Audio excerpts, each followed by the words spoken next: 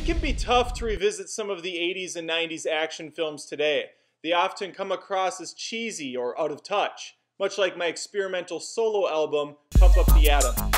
Today I'm going to talk about a few that still hold up on this episode of Lethal Weapons. That's a working title. Welcome to the party, pal! Van Damme, Stallone, Schwarzenegger, and Willis all prove to me that you can overcome any obstacle as long as you can bench over 300 pounds and have a one-liner for every occasion. Not every movie following that formula comes out a winner, with some flicks being laughably bad. So bad that they become quite enjoyable. Here's my top 5 best awful films from the 80s and 90s. Number 5 is Escape from LA. Kurt Russell reprises his role as Snake Plissken in a so bad it's good sequel to Escape from New York. The writing team was smoking a little bit of everything when coming up with the scenarios for our protagonist. The final scene is truly badass, and the score is downright good. You got a problem with that? Double Team was the combo no one was waiting for. The muscles from Brussels and the worm himself, Dennis Rodman, play ball in this slam dunk of a disaster. It goes all in on the basketball lingo, even though Rodman's character has nothing to do with the sport. It's a personal foul all the way through. Offense gets the glory. But defense wins the game. Sexy, steamy, hot, wild. These are all adjectives never to be used when describing Barb Wire. Baywatch's gift to 15-year-old boys everywhere, Pamela Anderson, makes her big screen debut as a leather-clad heroine. She's packing her two huge signature weapons and also brandishes some guns. I do believe I'm falling in love. Get in line.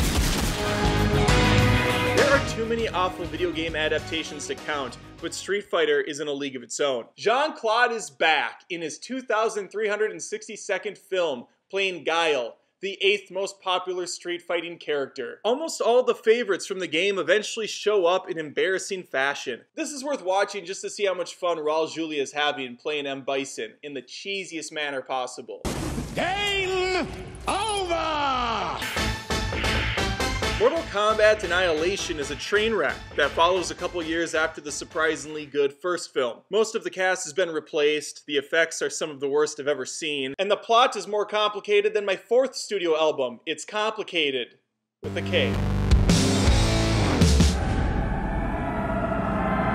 It's rare when a sequel lives up to the original, especially when directors change hands. James Cameron not only crafts an amazing second act to the franchise, but makes it his own here by focusing on the Marine versus Xenomorph aspect. Unfortunately, it wasn't game over for this franchise, and Aliens 3 was made. Game over, man! It's game over!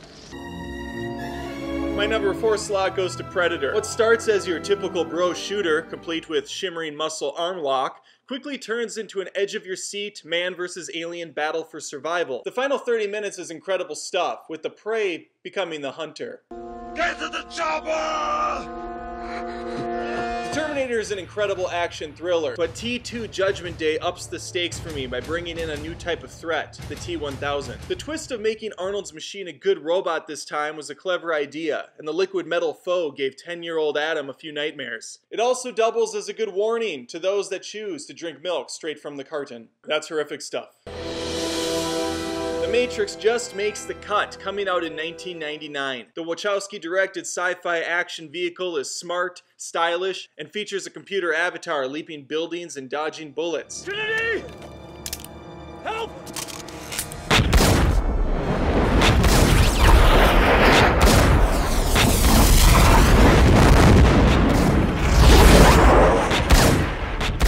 1989's Die Hard had a very simple premise. Nakatomi Plaza is held hostage by Hans Gruber and his team while they attempt to open a safe containing 640 million in negotiable bearer bonds. Fortunately for the Christmas party, New York cop John McClane happens to be at the wrong place at the right time. Happy trails, Hans. Before Charlize Theron was kicking butt as a super spy in Atomic Blonde, there was Geena Davis in The Long Kiss Goodnight. Die Hard 2 director Renny Harlin teams Davis and Jackson up in this somewhat unconventional action flick featuring deer neck snapping, hardcore waterboarding, and Samuel L. Jackson being angry and swearing a lot. Okay, so not all things are in common here. With a lot of gunplay, excessive explosions, and witty dialogue, this is one long kiss you'll surely remember. I give it 5 out of 5 buckheads. There are so many amazing action movies from the 80s and 90s, this short film doesn't even scratch the surface. The Lethal Weapon franchise, the Indiana Jones trilogy, stops at 3 for me. Rambo, Robocop, a string of Jackie Chan films, The Last Boy Scout, and so many more. These will be covered in later episodes of this show, I'm sure, but let's see what else the kids have to say on Twitter. Tony Roosevelt goes all in with the Martin Lawrence Will Smith combo in Bad Boys. Jamie Chadwick picks a deeper Melanie Griffith Michael Keaton cut, Pacific Heights. Thanks for watching The Last Action Heroes. It's a working title, brought to you by Guru Hub. Now I'd like to end with a classic Arnold Schwarzenegger line from Terminator. I need your clothes, your boots, and your motorcycle. Oh, for sake. That's the line we're going with. That's the one we're ending on. Not I'll be back.